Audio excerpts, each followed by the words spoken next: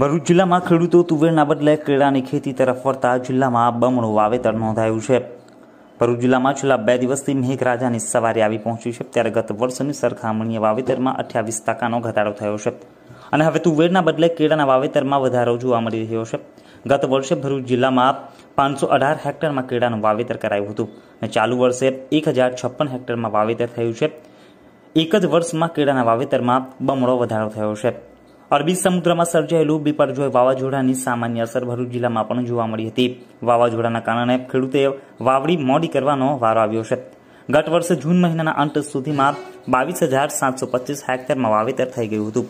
જ્યારે આ વર્ષે અત્યાર સુધીમાં વાવેતર અઠ્યાવીસ ટકા ઘટીને સોળ હજાર ત્રણસો બેતાલીસ હેક્ટરમાં નોંધાયું છે.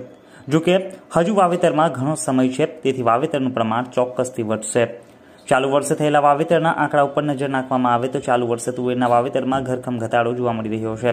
ગત વર્ષે જૂન સુધીમાં સાત હજાર એકસો સિત્તેર હેક્ટરમાં તુવેરનું વાવેતર થયું હતું, જ્યારે અત્યાર સુધીમાં એક પણ હેક્ટરમાં વાવેતર નોંધાયું નથી.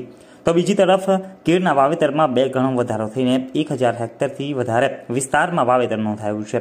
અત્યાર સુધીમાં આમોદ તાલુકામાં સૌથી વધુ ત્રણ હજાર એકસો ત્રીસ હેક્ટરમાં વાવેતર થયું છે.